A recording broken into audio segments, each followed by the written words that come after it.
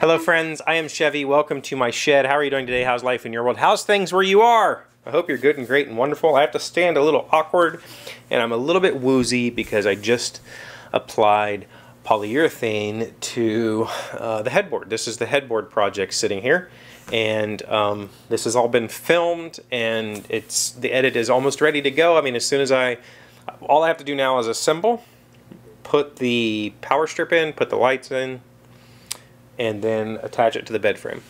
And then I'll be able to publish a video about that. Um, I did not, however, film the polyurethaning process. And maybe I should. Now that I've done it, I, here's the thing. When it comes to the way that I apply polyurethane, specifically water-based, this is polycrylic, Minwax polycrylic, water-based polyurethane. I would not do what I'm about to say with oil-based polyurethanes. Do not. Do not. But when it comes to applying water-based polycrylic, I throw all of the traditional how to apply finishes uh, tips out the window. I don't do any of it. I do the exact wrong thing. And I love the outcome every single time. So, I didn't film it because when, when you film something like that, you, you tend to get just a lot of pushback.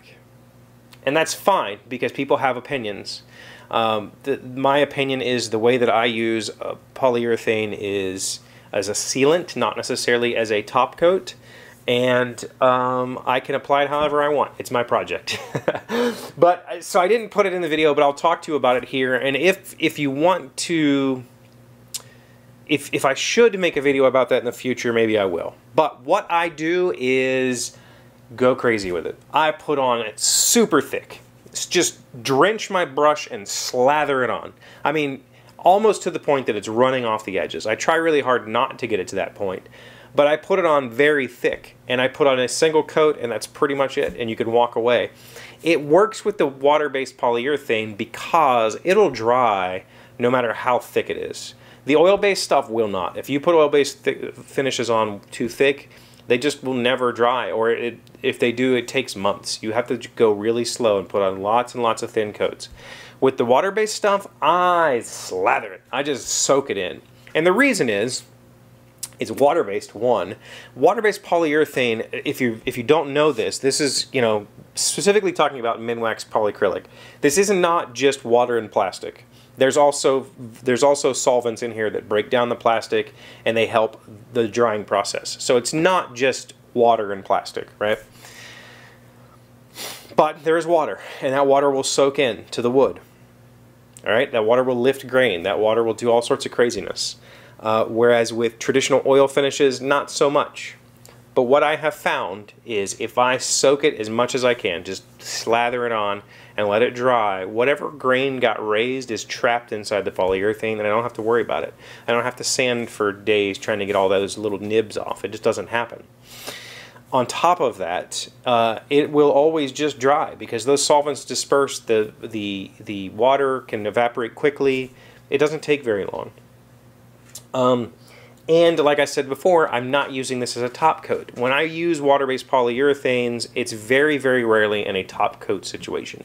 If I am using it in a top coat situation, I still do it the way I just mentioned. I lay it on as thick as I can, but then I'll come back and sand it and I'll start putting on finish coats. And usually that's two or three.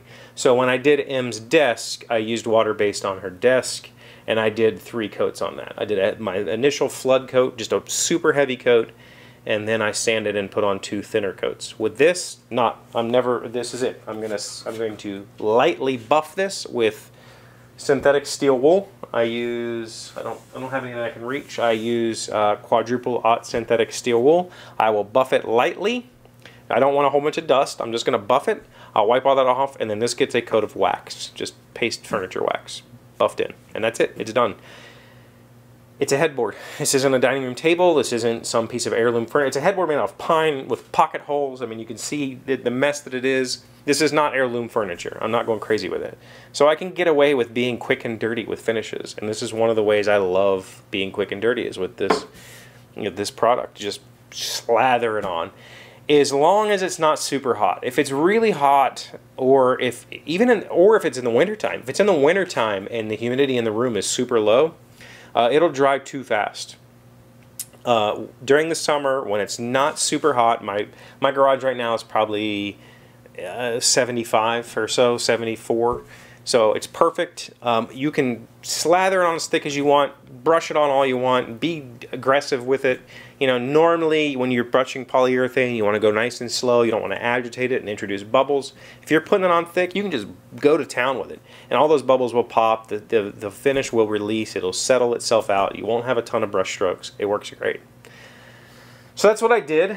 I'm a little bit woozy. Um, this particular finish, additionally, another reason why I didn't go crazy, this particular finish came from like a junk store. It's a store around here called Ollie's, and it's basically, they just get like factory reject products or stuff that's been in car wrecks or whatever.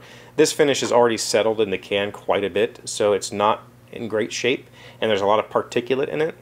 Um, so if I if I was going to do if this was going to be like a hand-me-down piece of furniture and I was going to use water base, I would have bought a new can and and probably put a little bit more care into it. But when I'm doing something rough and, and quick like this, go crazy. Have fun with it. It's super simple. And the wax is what is actually going to give it that nice touch, that nice feel. This right now feels a little bit like a magazine cover. It's a little weird. Uh, and it does have a little bit of roughness from the grain. Buff it with some steel wool and then buff in. I use the steel wool also to buff in the wax. Perfect. Perfect finish. So maybe someday I'll do a video about that. It's not going to be in this video, but now you know.